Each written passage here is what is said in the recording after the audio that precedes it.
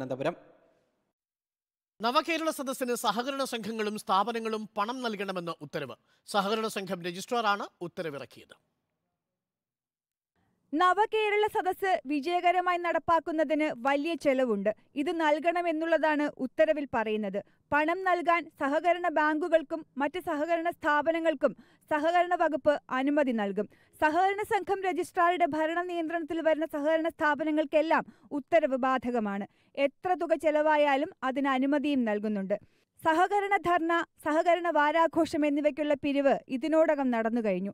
നടപടികൾ ഭയന്ന് U D F അനുകൂല സഹകരണ സംഘങ്ങൾ പോലും പണം നൽകാൻ തീരുമാനിച്ചിട്ടുണ്ട്.